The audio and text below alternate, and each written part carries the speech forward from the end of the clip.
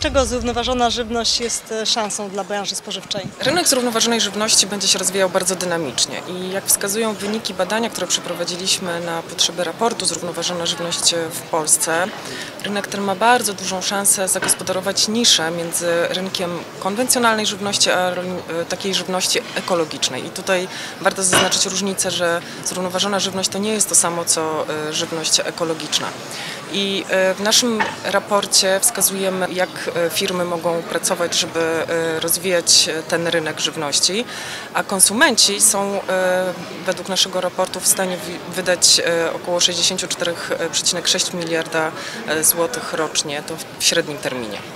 Czy Polacy rzeczywiście są zainteresowani zakupem żywności zrównoważonej? Zdecydowanie tak, a jak pokazują nasze badania, blisko 3 czwarte konsumentów deklaruje chęć zakupu e, produktów spożywczych pochodzących z rolnictwa zrównoważonego.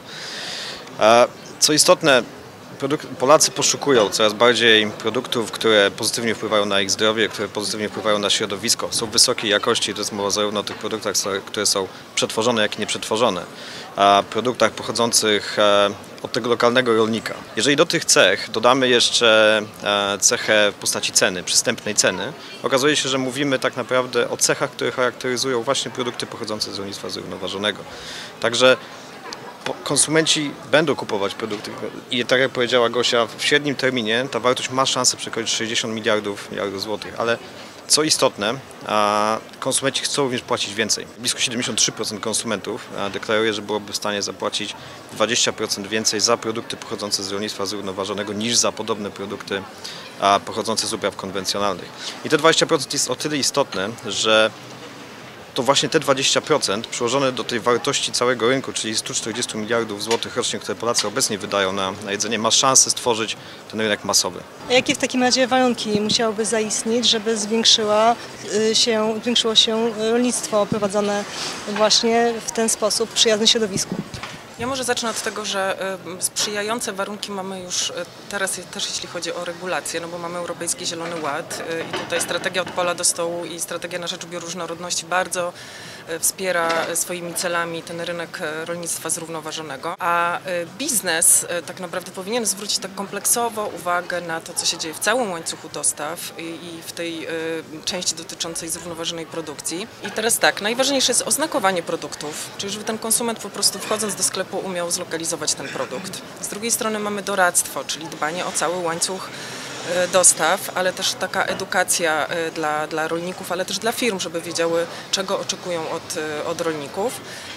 I opłacalność. Opłacalność jest bardzo istotna, czyli tutaj jakieś odpowiednie umowy kontraktowe z dostawcami, ale też dzielenie się marżą, które myślę, że jest bardzo istotne, żeby ten rynek miał szansę spełnić oczekiwania konsumentów. Konsumenci chcą być też edukowani, tak? Oni oczekują informacji o tym, jaki wpływ te produkty pochodzące z rolnictwa zrównoważonego będą miały na ich przede wszystkim zdrowie, na ich oraz ich rodziny. Jeżeli chodzi o technologię, jakie warunki muszą zaistnieć? Technologia już dzisiaj wspiera e, rolnictwo zrównoważone i tak naprawdę można się pokusić o stwierdzenie, że to technologia jest kołem zamachowym rozwoju e, rolnictwa zrównoważonego. Można to spojrzeć tak naprawdę z dwóch perspektyw, z perspektywy popytu i perspektywy podaży. Strona popytu mamy konsumenta, konsumenta, który wyraża chęć, trzy czwarte konsumentów wyraża chęć zakupu produktów z rolnictwa zrównoważonego. Wiemy też, że jedna czwarta konsumentów kupuje już produkty bezpośrednio od rolnika. Tak? I takie technologie jak e-commerce, jak marketplace, jak wszelkiego rodzaju platformy social, które skracają ten łańcuch między klientem a, a, a rolnikiem w tym wypadku, mają szansę ten trend jeszcze przyspieszyć. Co istotne, ten trend wcale nie musi się odbywać z pominięciem e, retailerów tak, czy, czy, czy, czy, sprzedawców. Mamy już teraz przykłady firm na świecie, które podpisują bezpośrednio umowy z rolnikami, aby następnie oferować ich produkty bezpośrednio na swoich, na swoich platformach.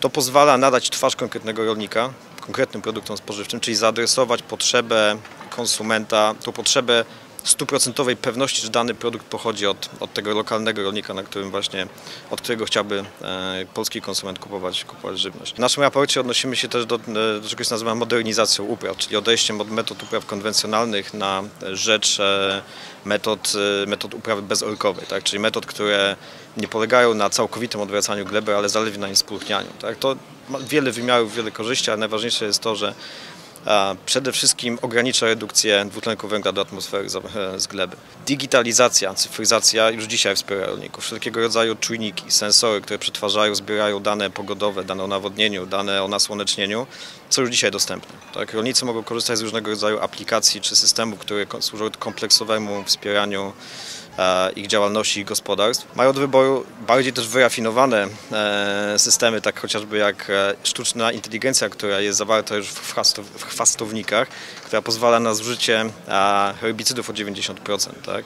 To są systemy nawadniające, e, zawierające w sobie IoT, e, czy oparte o, o IoT, które pozwalają redukować e, zużycie wody. I technologii naprawdę jest dużo, chociażby przez już powszechne drony, można powiedzieć, które służą mapowaniu pól czy monitorowaniu jakości plonu.